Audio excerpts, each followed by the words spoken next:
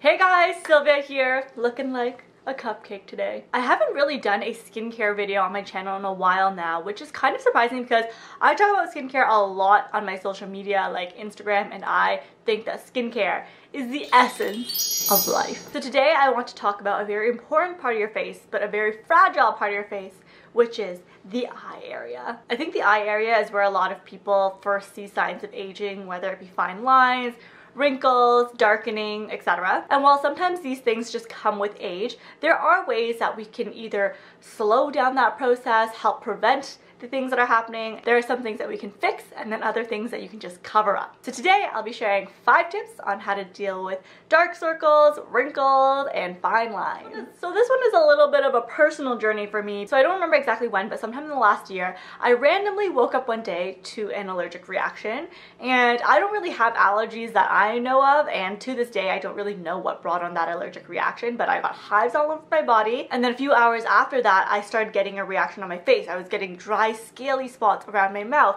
All around my eyes was completely dry, scaly. It looked like I had rashes or infections. So I took some antihistamines and while it got rid of the initial reaction, I was left with scarring around my face. The skin all the way under my eyes was this like snaky, scaly texture. It felt like snake skin. It was really rough, dry, and just not good at all. And that is what led me to find a product that was perfect for people who had very dry skin around their eyes, scaly texture, and it was the La Roche-Posay Toleriane Ultra Eyes. So half of the products that I talk about in this video I don't have on me because I've used it up and that's how I know I liked it. Previous to this, I tried a bunch of other eye creams. I was trying the Kiehl's Avocado one to see if it would help um, because I thought it was nice and thick and that it would, but it didn't. And this La Roche-Posay one was the only one that actually worked for me. It took about a week for me to start seeing results, but eventually my skin returned to its normal form, got rid of the scaliness, got rid of the dry flakiness, and it was like a beautiful skin texture again. So once I got the skin around my eyes to be a more normalized texture, what I was left with was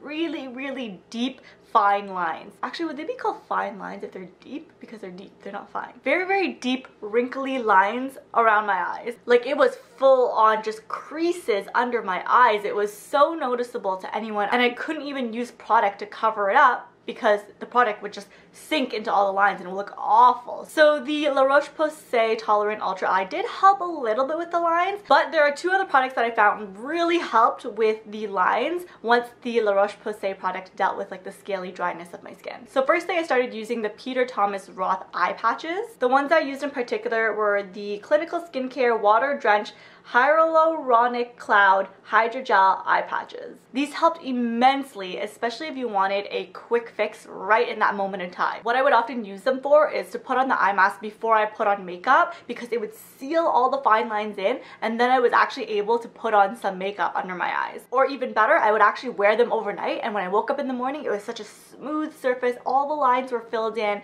and I was able to put on my makeup. It did also improve my lines over time, but I love that it was an immediate effect that I could deal with right away as well. To this day, I'm still a strong believer in eye patches because it makes a huge difference in the lines on your eyes right when you put on makeup or even just giving some brightness and hydration under your eyes as well. So if you guys have never tried eye patches before, I would highly recommend it. And then the product that was not only great at filling in the lines and giving me that smooth surface, but also helped brighten my under eyes a lot was the Laneige Water Bank Eye Gel. Its thicker jelly texture just really filled in all those lines and over time it really helped fill in my lines completely and get rid of the deep lines. So nowadays I do not have any deep lines under my eyes. I can happily wear a little bit of concealer, a little bit of eye product under my eye. And because the product was this gel format in this like glass jar, it actually kept the product naturally very cooling.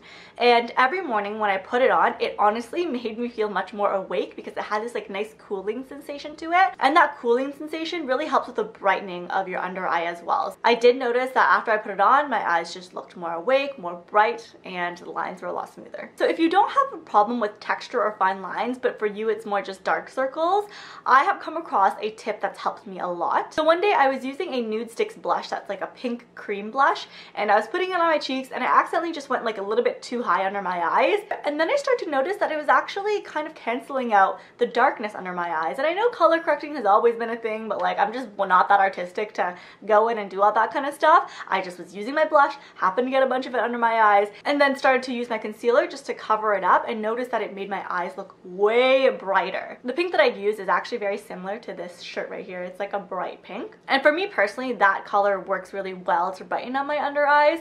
I can't really speak to everyone's skin tone because I am definitely not like a color expert or anything like that. But for my particular skin tone, this bright pink really helps cancel out that darkness. I even did it today do my under eyes look very bright? And last but not least, my last tip is just for prevention. What I didn't realize in the past when I was younger and doing my makeup, I would be pulling on my eyes or when I would take off my makeup, I would just be like dragging along my eyes and you really start to see that kind of stuff set in as you get older. So if you're younger than me and your skin isn't aging the way that I am, I would highly recommend to not pull on your eyes when putting on any makeup or eyeliner or to drag on your eyes when taking off makeup because I can see now when I look in the mirror, I still have fine lines, like it's just part of aging, but my fine lines go exactly in the direction that I was pulling. So all my fine lines go out like this and you can see the movement of my fine lines because I would always be pulling this way. So you really do see that in your skin later on. So if you're not there yet,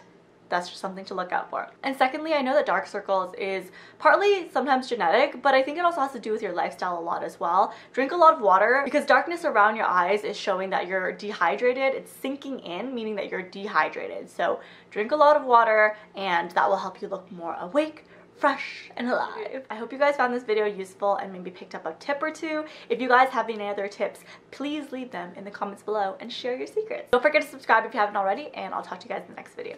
See ya!